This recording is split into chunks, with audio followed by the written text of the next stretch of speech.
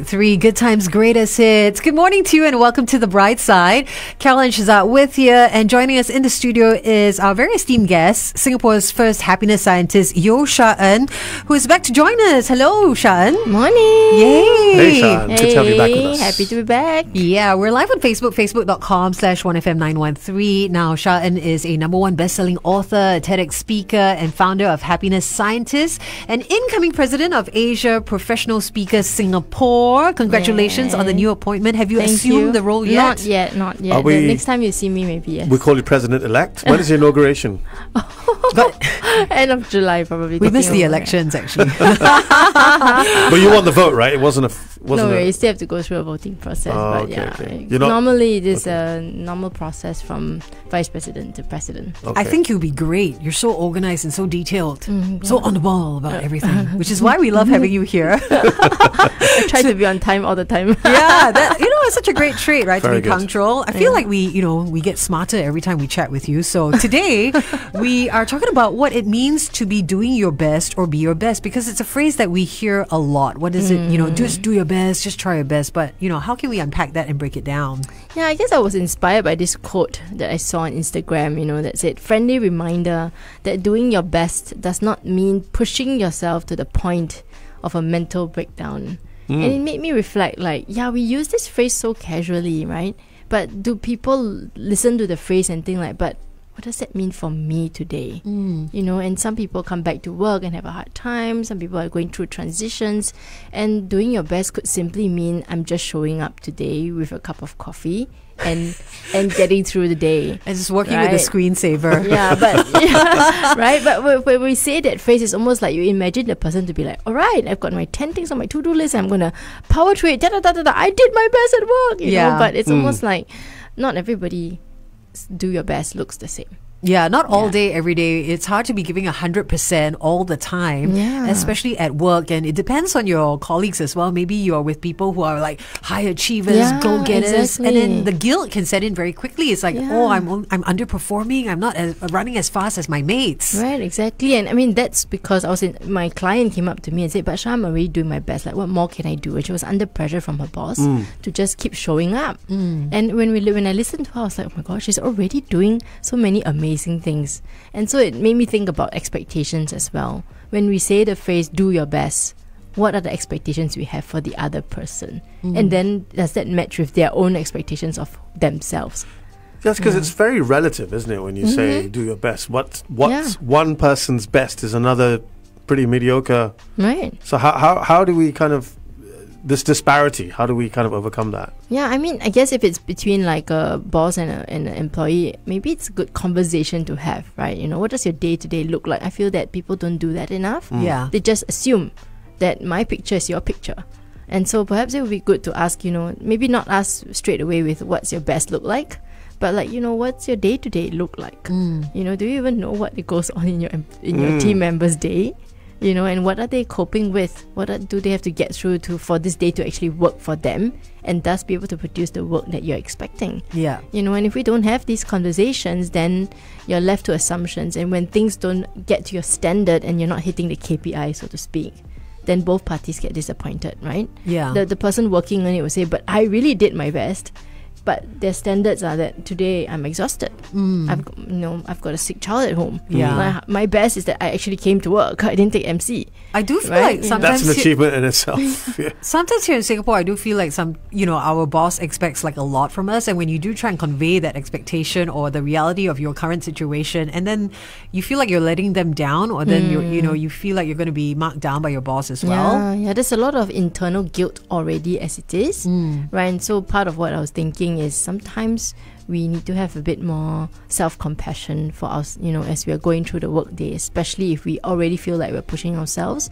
And certainly we don't want to go to the point where, you know, we get home all depleted and the people in our lives get nothing from us. Mm. You know? Yeah, that's what I've been thinking about. All right. So, at what stage is it okay to say this to your kid, and what do we, how do we want to, you know, craft that conversation with our children when we use this phrase, "Just try your best" or "Do your best"? I think that's also up for consideration, yeah, right? I think with, with kids, we can articulate what that means to you as a parent. Yeah. So that they can understand what that means. Mm, Let's dive into this on Facebook. Join Yeah. us there, facebook.com slash 1FM913. Back with more Sha En in just a bit. Hi, good morning, everyone, and welcome to Facebook. We're back with Sha En, and we're chatting about what it means to be doing your best. And uh, Shaz, you're a parent, right? Yeah. Is that a phrase you use with your, your child? You know, do your best, try your best? This is a tricky one, right, Sha En? Mm, You're a parent yeah, as well because v- more often than not, more often than not, as a parent, you know that the kid can do a lot more. Kids Mm-hmm. don't often feel that they have to push themselves necessarily to the max, and Mm-hmm. why should they? They're kids. They don't. They don't. They don't feel that need. Yeah, so is it Yeah. okay to be using this phrase on them? I'm, I'm wondering. Well, and and for them, in their mind, is very clear cut.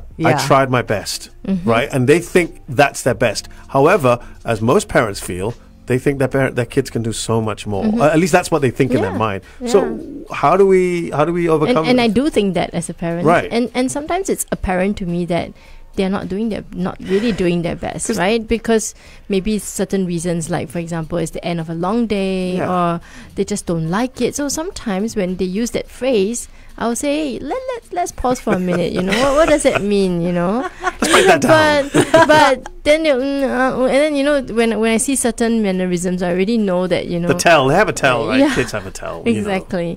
Exactly. And then I will you know just explain to them and say that you know if there's stuff that's getting in your way, Mm. um, you can tell me. You know, I think that conversation is important, that's a good one. That's right? good. As opposed to just telling them do your best because. As you said, if they already think they are, Yeah. then what more is there to do? Correct. They'll be right? like, oh, but and they'll just like sit there and do nothing. correct. Yeah. So you're kind of hitting a brick wall there, Yeah, right? But at the same time, we don't want to be the tiger parent that says that's not good enough because then it, it instills in them a message that they're never good enough, which is also mm. not true. That's a very good point. So it's kind of trying to find that balance by acknowledging the efforts they've already put in, but also knowing that hey, you know, there's there's more that can be done. But maybe there's something in their way. Maybe they are scared of something. Maybe they are tired. Maybe they are just hungry. Mm. You know, the phrase "hangry." Yeah. Mm. Right, hangry, then become very tired, and then grouchy, and then therefore I done my best. A lot of world problems and issues could be resolved if everyone just had their hanger issues dealt with. I feel, you know. Yeah, so Um, helping them to find that balance is actually good for their own self awareness. yeah. Right? I actually maybe didn't do my 100% today, Yeah. but they were scared to tell you that. Mm. Right? Because if not, you'd be like, why? Why you never? Mm. You know, so our response matters too. Yeah, I that's a good point because know. also that they know they don't want. to... There's an innate thing of not wanting to disappoint your parents Yes, as well, isn't exactly. there? And they're also Yeah. looking at you, you know, like what kind of mood are you in? Are you hangry, parents? Yeah, yeah, that's a good point. Sometimes you're tired. I mean, they could bring the same piece of news, and depending on what mood you're in, Yeah. uh, it could be received very differently too, right? Hmm. Wow, so much to think about. Um, so what could get in the way of being our best? Um, I mean, uh, multiple of factors. Uh, we start with internal factors, maybe feeling anxiety or stress or uncertainty. Mm. I think the word uncertainty is like it's everywhere, and change is constant, right? Mm. So, as as an adult going through work life, I mean, there's so many things that we don't know, and so that could get in the way because when we don't have information, that's why we become anxious. We're trying to find the answers, and when there are no answers to be found, then you start to make up stories. Mm. Not that you want to. The brain just automatically put things together, right? Whether you have complete information or not. Then the other one is of course like exhaustion, which is like we talk about burnout. Mm. That's pretty common nowadays. Um, and when you're exhausted, well, how do you be your best? Your body is telling you like two thousand percent go to bed, but then you you cognitively have to function at work. Yeah. Yeah, so that can be really challenging. Yeah, especially sleep. I mean, sleep is such a huge factor. Sorry, what's that? okay. That's why I was taking a nap. Number one sleep deprived Just person on the kidding. team. Yeah. He's right here. nothing, nothing to do with the European Championships at the moment. Yeah. nothing at all. um, what about when you feel that you're doing your best, um, but people keep saying they don't think you're doing your best, and they keep pushing you? yeah. How, how do you respond to that? Now you I said mean, have a mm. conversation, but you've got to do something, right? Yeah, I mean it's a tricky one. Um, I would go the route first of checking in with myself Mm. and asking, well, what does my best mean to me? Because if we are not sure, then we are always swayed by everybody telling you you're not your best.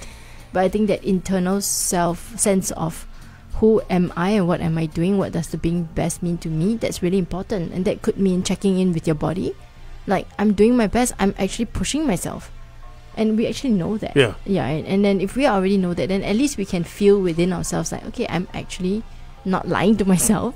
And I can tell my boss confidently or my colleagues that I'm putting out my best. You know, the No. more we talk about it, I'm just wondering about this phrase. Like, who coined it? And should Yeah. is, there a need for us to be giving our best? I mean, not that we we put up shoddy work or anything like that, but you know, there's there's like Yeah. a lot of pressure. It's almost as if like I'm being judged for not trying hard enough. Yeah, precisely. And th- that is the, exactly the reason why I started thinking about it. So is this phrase so kosher or loosely, not? right? Yeah. Is it okay? Can we ban this phrase?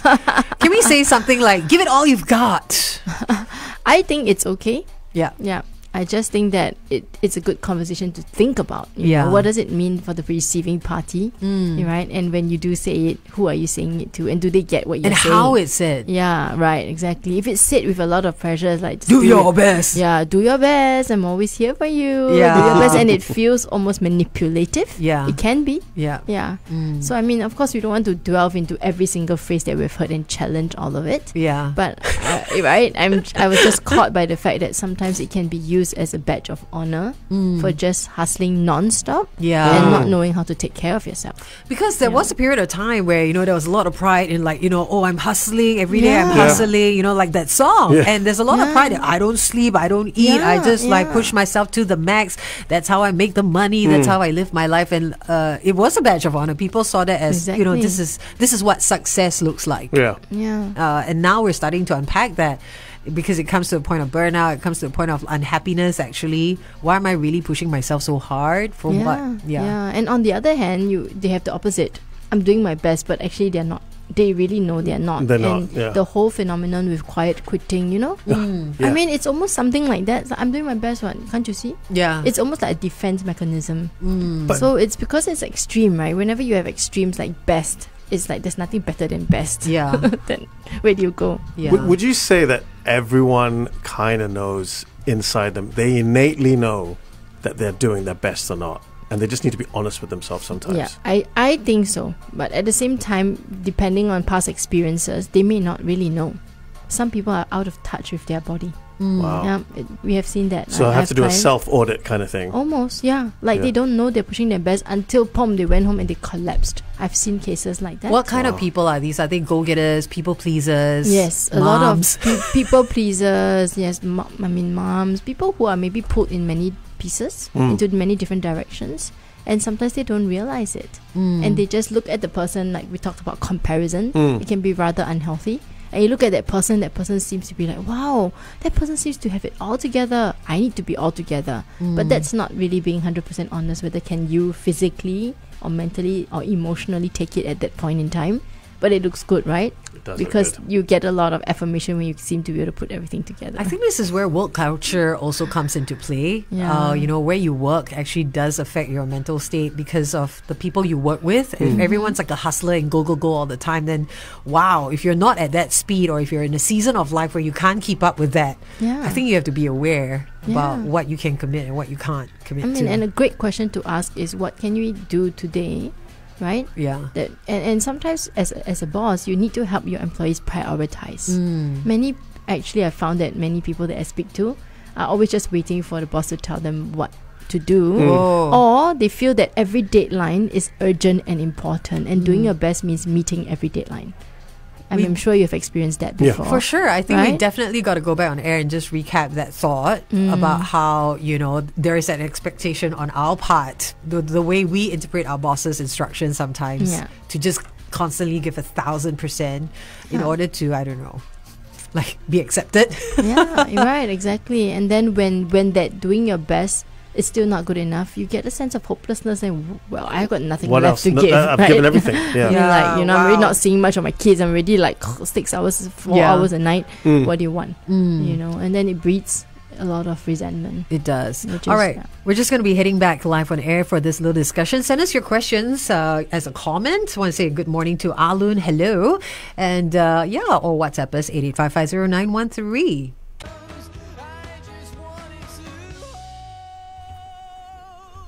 Muse with Starlight here on 1FM 91.3. We are talking to Yeo Sha En about uh, doing your best or trying your best. How about that, that phrase when you say, but I tried my best? Then you get told, don't try, just do. Yeah, that's another that's another common one. That's a very Yoda saying. Well, I mean, trying is of course important. Like if we look at the, you know, the research on growth mindset, effort and process are important to achieving whatever it is. But again, if i again if it's used, um, like this, you know, just try, don't do. I think that that to me is like you didn't even ask what does try your best Mm, mean. mm, It's more of a telling. right. And when everything comes across as a telling, then you actually do not know. And if you do not know, then what do you think the person is doing? you know? Why do we so- sometimes feel like our best is not good enough? Especially when it comes to say work deadlines, you know, working for your boss and all that. Why do why do we carry around this sense of guilt? Yeah, um, I mean, maybe the expectations were not clearly conveyed in the first place, and therefore you keep trying to push and push and push. Maybe there's not enough appreciation and recognition. And I, I, I see that a lot as well. I call it the underrated superpower that bosses need to master. Mm. Because if the person is doing their best and they've and they've shown up and you're not acknowledging and recognizing that, the person may not know. And therefore we walk around Yeah. with guilt. Yeah, I you know, I made that one mistake and then we focus so much on the mistake as opposed to the ninety percent of the greatness that we've done. You know, it's Because it has Yeah. not been acknowledged. it's not uncommon to hear this phrase. No news is good news. yeah. It's almost as if it's a given. It's expected for you to be performing at this level, the super high Mm, level. correct. And anything other than that, you are falling short. So some company cultures are like that. If you don't hear from me, it means you were just doing the bare minimum, which is your best. Yeah, exactly. Yeah, without the Yeah. acknowledgement. And here you Yeah. are on burnout mode already. Exactly. Yeah. Yeah, You know- and so I mean that's I think that's pretty common. That if you we, I read through a lot of employee surveys in the course of my work, Mm. and one of the things that constantly comes up is that they don't feel appreciated. Yeah, Yeah. yeah. Uh, You know, sometimes I think it's not just about doing your best. You, sometimes a boss just wants you to do better, Mm. better than where you are. Yeah, And maybe- and that's driven by pressure, isn't it? Correct. Because if the KPIs are not met and hundred percent of everyone's doing their best, the boss is under pressure because there's still a gap between what's being done and the KPI, And the that needs to be met. How do we? yeah. So there's always that like, let's continue to do more. We can do it, right? Let's keep pushing. And if it's short term, I would say maybe short term is all right because they, everyone has something to look forward to. There's a reprieve at the end. Mm. It's when it's long term and there's no end in sight. That's very that's very exhausting. So Mm. how do we delicately navigate those conversations Mm. without shooting ourselves in the foot? You know I mean, I mean, just being, I it depends really on the person that you're working with. You know, if the person is someone who maybe is just KPI driven and doesn't really give two hoots about you, I would say maybe that conversation isn't going to go well. But Mm. still bring it up anyway. yeah, The reason is that if you don't bring it up, then they don't know. Yeah. And if you have brought it up once or twice or third time, then um, at some point you have to ask yourself, is it worth all this effort Oh. from me? yeah, Right? Yeah. Because we're talking about company culture. Maybe that Yeah. is just a company culture, Yeah. and maybe you're in a season where you're not able to Yeah. do that or keep up with that anymore. Yeah, I but think- you, you know what does help? Um, I think recently there's a lot of talk about flexi work arrangements. Mm. That often helps, right? Mm. People do want to do their best generally, right? And if they have no flexibility, that's also one of the reasons that could impede their ability to function well. Yeah. Because so there's go so back much to the at the back. source, right? Address Yeah. the source. Address the problem. Exactly. Yeah. You know? The other thing that I always hear is also, oh, if you can't do this, then that's the door. Mm. Yeah. Wow. So, So- that's an ultimatum threat kind of environment. Does that's that come very up in your conversations? Um, it does, but maybe not the first time. Yeah. Yeah, but I guess if the person repeatedly not a- or in the per- boss's Mm. view not able to perform, Yeah. then at some point they run out of ideas of how to talk to this person, and so they go for the ultimatum, Mm. right? If you listen from the boss's perspective, which I do, they will say, "But this person underperforming, so if I don't give some ultimatum, maybe they're just gonna slack." Yeah. This is the mentality that they Ah, have, right? Yeah. And so it cuts both ways, I suppose. So instead of saying there's the door or there's a long queue for people Yeah. waiting to come and do what you want to do, how else can you navigate that conversation? I mean, I would ask, what is getting in the way of you being able to show up with the work that you want to do? Mm. What's getting in the way? We don't ask this question Yeah. often enough. And then once they tell you, well, what can I do to support you? Yeah. You know, there, there will always be resources that you can offer, even if it's not your time. Sometimes you, you yourself have no bandwidth as the boss. Mm. Offer resources. Who can you go to to get these questions answered? You know? This sounds very Yeah. empathetic, and I don't know whether bosses generally are regarded in that way. That they have the empathy. Maybe, as you say, they might be under pressure from some from other Yeah. sources, and they feel zero to sixty, bang, slam the table, and say, "Hey, you're not doing your best." Instead of trying to understand why. yeah, but people- I mean, you can't squeeze blood out from a Yeah. stone. you know, so I mean, it's either you let the person go and you have to go through the process of rehiring and retraining. Mm. That not only costs your company money, but it Mm. costs you as the boss time because you have to do the training. Yeah. I mean, so it's it's a choice. I think it comes back to we always have a choice. What choice do you want to make? But you make a good point. I think trying the compassionate approach first is always the best way as well, because then it's a connection, there's a human connection. Your employee understands, hey, I'm not just another headcount number. I'm here connecting with people, you know, Mm. Yeah, and I have a life too outside of work. Uh, Yeah. Sha En, thank you so much for joining us Thank here you today. having me. Thank you, Sha En. Good conversation. Yeah. Yeah, Yeah. definitely gave us a lot to think about, you know, with the phrase, what does it mean to do your best? Worst case, when you're getting you know into trouble with the boss, you can quote them the ACS motto: "The best is yet to be." ah, so pressurizing.